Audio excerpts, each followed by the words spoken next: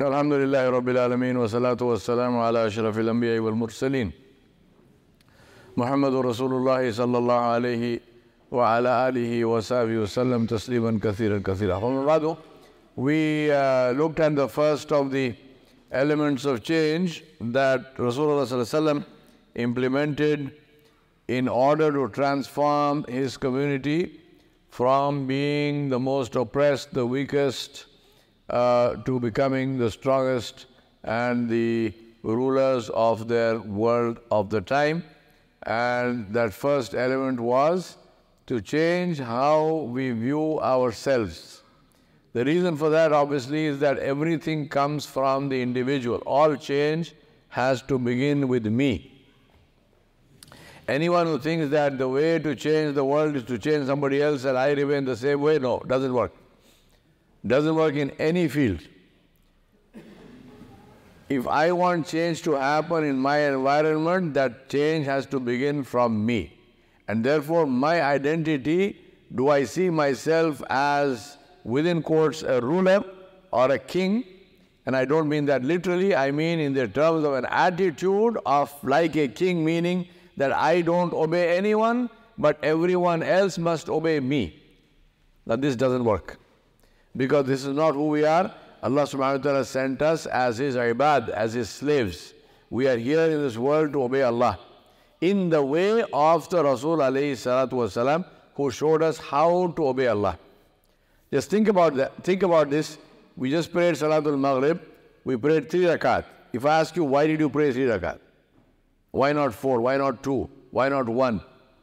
What is the answer? If I ask you, why did you pray in this way? Why do you start the salah with takbir tahrima? Why do you recite Surah Al-Fatiha first? Why do you recite Surah Al-Fatiha in every rakat? Isn't it enough to say it once? The answer to all of these questions is only one. Because this is the way Rasulullah prayed, period.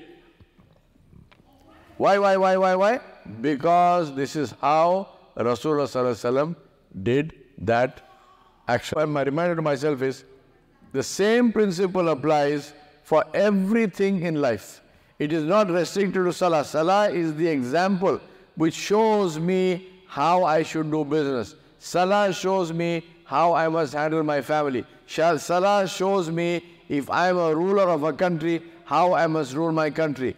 If I am a judge in a court, Salah shows me how I must give my rulings and my judgments in the court, and so on and so on. If I'm a business person, businessman, or woman, Salah shows me how to do business.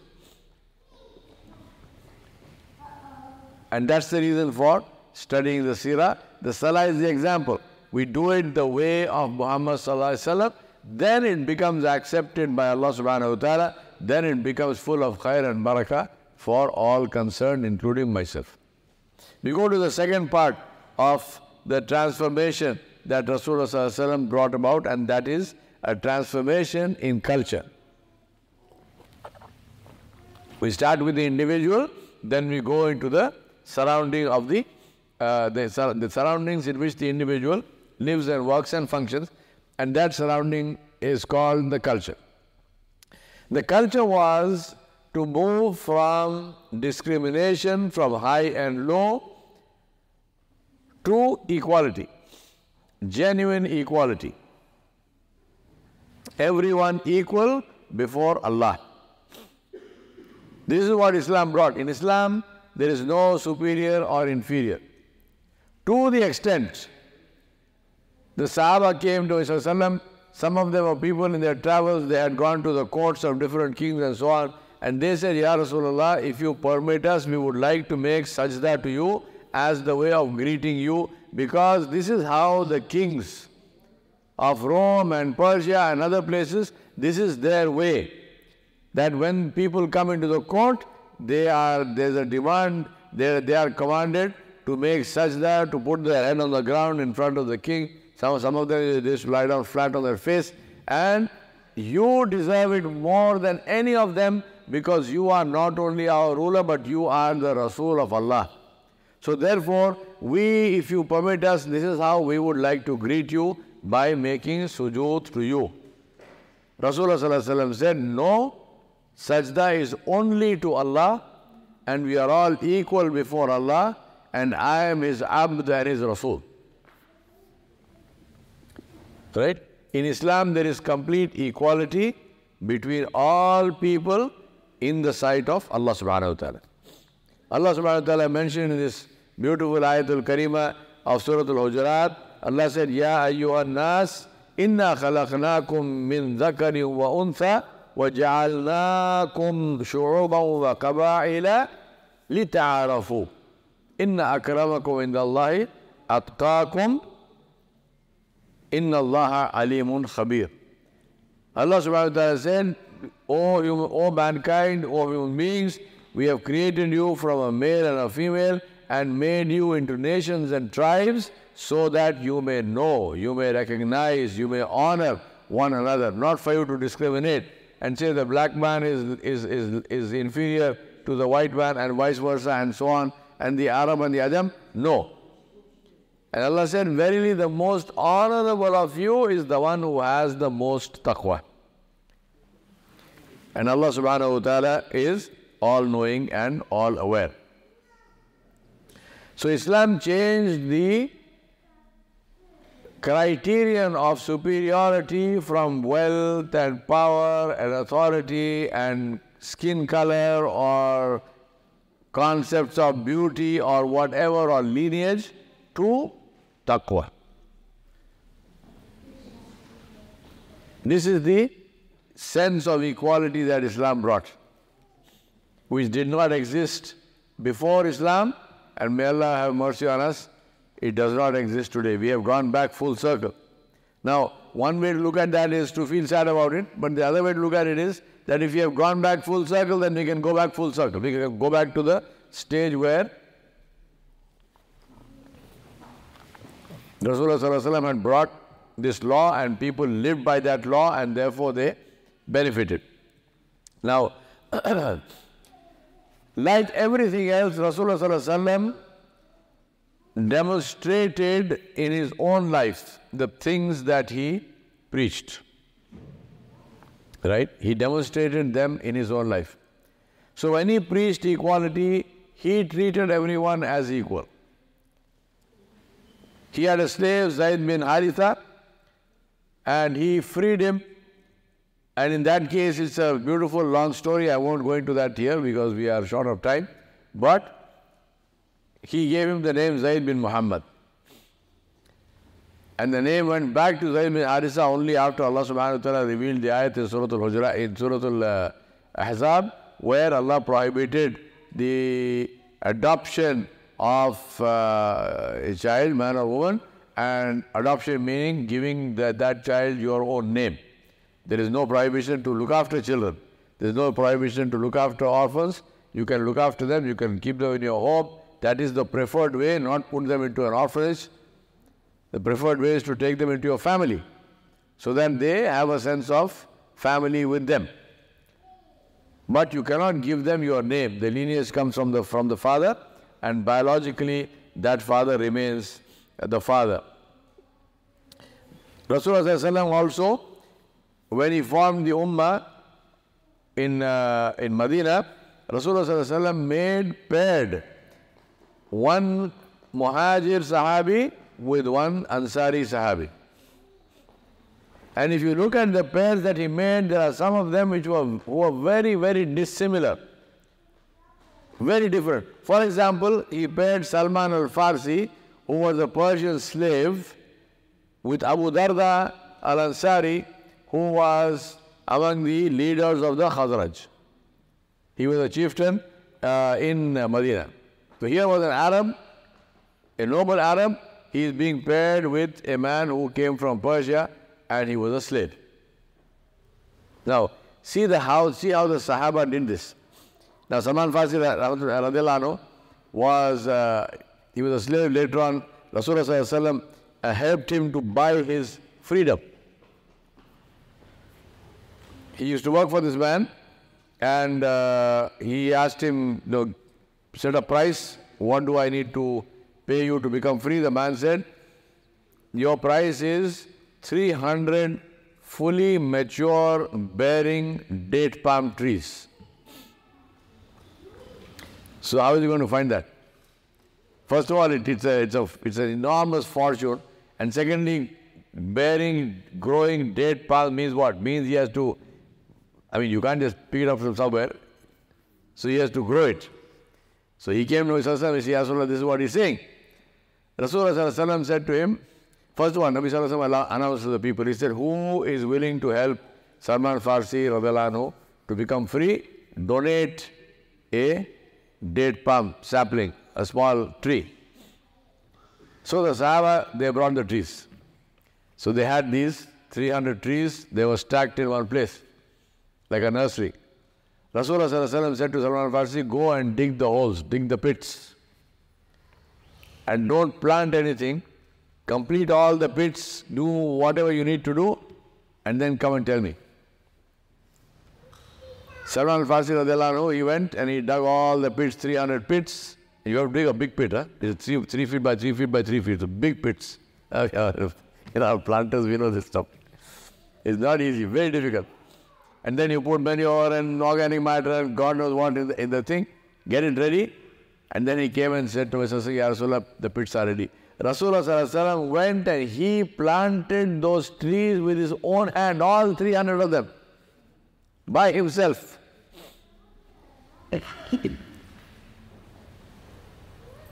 what a amazing lesson in leadership.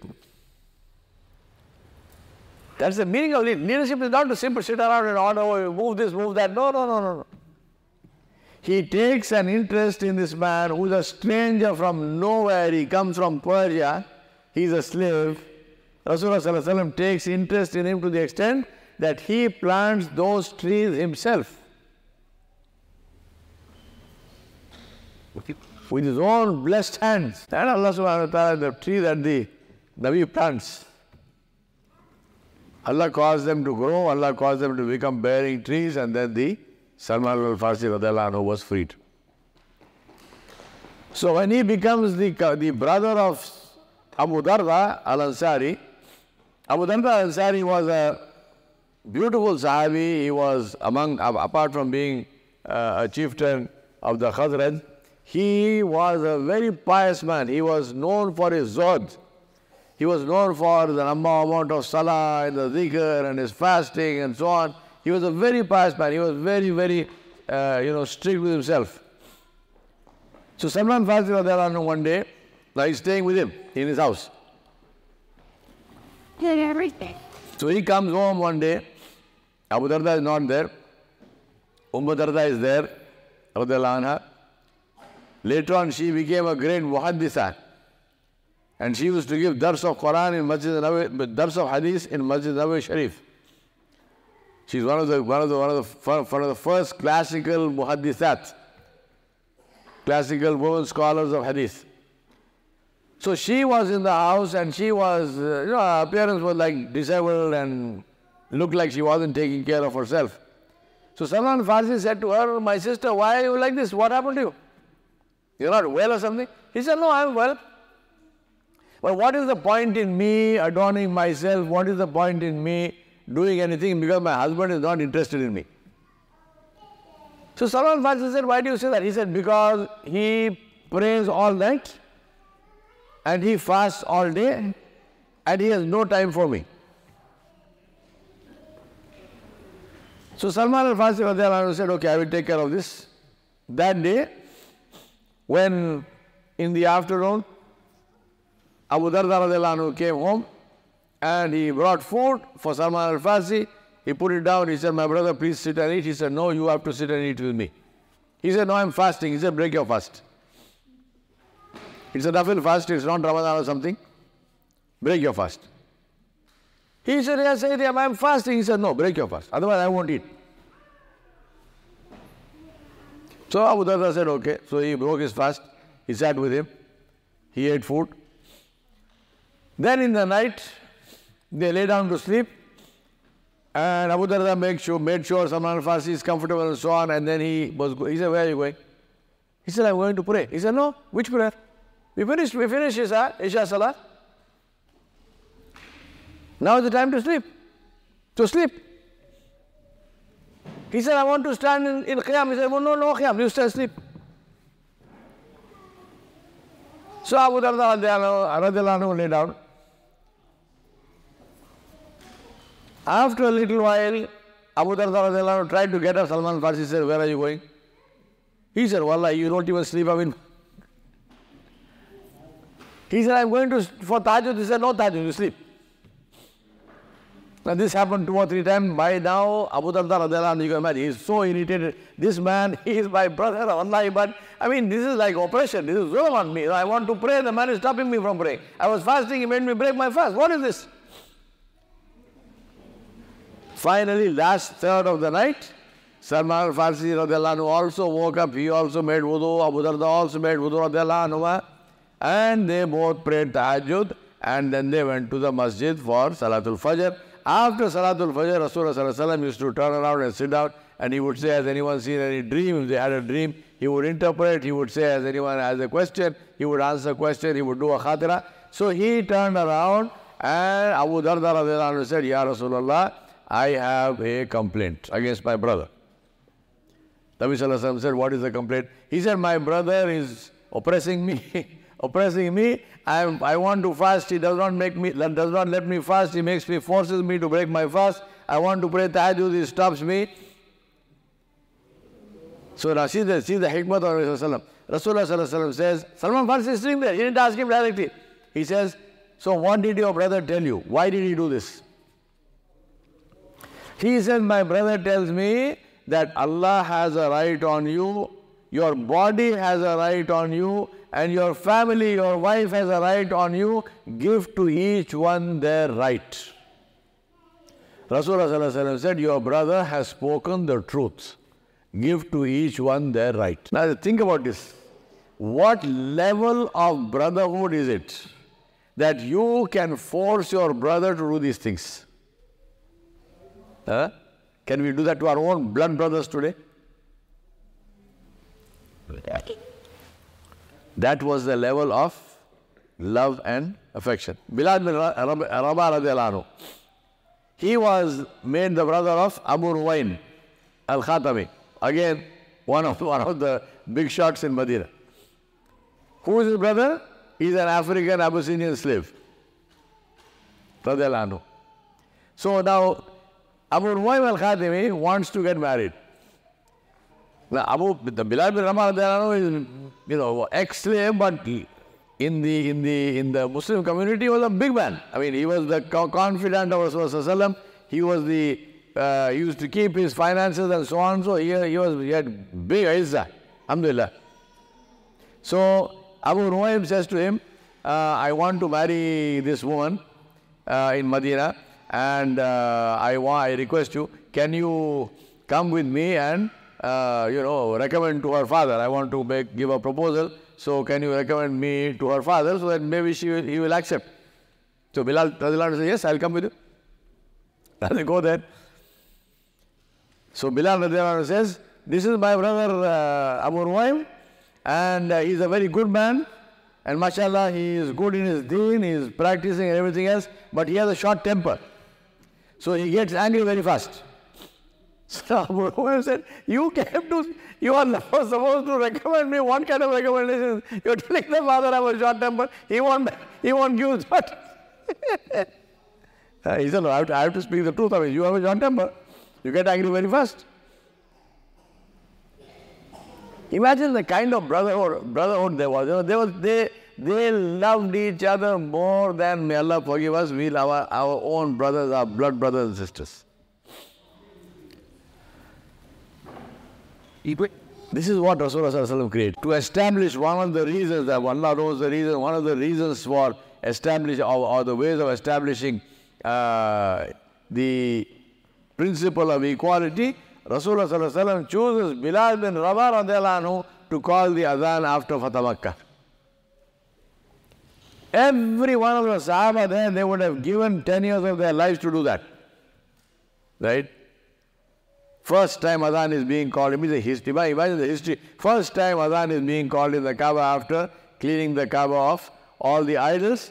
Nabi Who was the most Truly, if you look at it, who was the most suitable person to do that? Was the Prophet himself. He is the Nabi, it is his job to call the people to Allah. He should have called Allah himself. He didn't do that. He gives that job to Bilal bin Rabah. People, some of the some of the Quraysh uh, yeah, youth, they, they laughed, oh, who is this black man? One man said, oh, you know, um, uh, I'm, I'm happy my father died, otherwise he would have seen this black man calling the other. That black man, the Kaaba was under his feet. He was standing on top of the Kaaba. Hey? Rasulullah wanted to establish no black, no white, no nothing, no Arab, no Ajam. Allah subhanahu wa ta'ala, here is a man, Al-Bilal bin Rabah in whose heart Allah's love for Allah subhanahu wa ta'ala permeates his heart. This is the man of taqwa. With Allah subhanahu wa ta'ala, the position of Bilal is such, radiallahu anhu. Rasulullah said, Allah subhanahu wa ta'ala, when I went in Miraj and Isra al-Miraj, and they showed me Jannah, and I heard your footsteps, Ya Bilal, in Jannah. Uh, he recognized the footsteps of Bilal. He said, This is Bilal walking in Jannah. In which Jannah? Jannatul Firdaus of Rasulullah.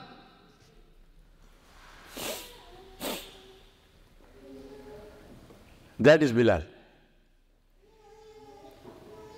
One day Abu Dhar Ghifari radiallahu again he was very short tempered. he was, he, his temper was such that Nabi Sallallahu he asked him, Ya Rasulullah, give me advice. He said, Do not accept authority even over one man. That's my advice to you. He said, don't. Because he had a short temper. He said, if you, if, you, if you have authority over somebody, maybe you will beat him or something and Allah subhanahu wa ta'ala punish you. No, don't accept authority. He told him, if you get angry, if you are standing, sit down. If you are, if you are sitting down, lie down. Physically. These are all anger, anger management uh, techniques uh, that Nabi Sallallahu teaching him. He said, if you get angry, if somebody, if there is a fight happening, people are cursing, he said, call the adhan. Call adhan, because shaitan runs away. He said, if you get angry, if you're feeling angry, go back wudu. Final point of culture is responsibility for the entire community. Starting in concentric circles. Starting with myself and my immediate family, then going to my neighborhood, then go, meaning Muslims, and then going further, meaning non-Muslims, country, world, an individual Muslim is responsible for everyone who comes into contact with him in one way or the other. And we know the uh, many hadiths concerning the rights of the neighbors and so on and so on, so I won't take your time here to narrate them, but do, do study them. It was to the point where Rasulullah said that Allah subhanahu wa ta'ala emphasized the rights of the neighbors to such an extent that I thought Jibreel alayhi is going to come with the hukum to say the neighbor will is your inheritor. He will part of your tarka, part of your inheritance has to go to the neighbor. So my question to myself and you is how do we behave? And that's where we come come here now. Is do we discriminate against people? Do we have, do we feel within ourselves the superiority inferiority thing? Right? I am Hyderabadi, nobody can make biryani like me, therefore I am the most superior person in the whole world. You agree or you don't agree? really, I mean, jokes apart, seriously, do we have this kind of superiority, inferiority stuff or not? Is it happening in our communities? If it is happening, it must be stopped. This is not from Islam. This is not from Islam. Right? Allah subhanahu wa ta'ala sent us as a blessing for the whole world. And that's why the metrics of this again, what will we, like the one we did with the first one, which is what will we start doing, what will we stop doing, what will we, what will we continue to do. So two things we have done. One, in terms of my identity, what is it that I will start doing? I will start obeying Allah. What will I stop doing? I will stop disobeying Allah. What will I continue to do? I will continue to obey Allah subhanahu wa ta'ala wherever and whichever way I was doing it. Alhamdulillah. As far as the culture is concerned, culture of Islam, what will I start doing? I will start treating everyone as equal. Nabi Sallallahu said, the one who does not treat, does not respect our elders and who does not have uh, shafqat and uh, tenderness and gentleness with the youngsters is not from us. So rights of people, rights of parents, rights of children, rights of brothers, sisters, rights of co-workers and so on, all of this must be done. So if I'm not doing, I must start doing it. If I am guilty of any of the infraction of these rights, if I've done anything wrong to somebody, immediately go apologize to them, make amends with them. Believe me, we don't want to carry this with us when we meet Allah. And continuing, Alhamdulillah, whatever you're doing which is good, please continue. Do it, inshallah. Jazakumullahu khairan. Wassalamu alaikum.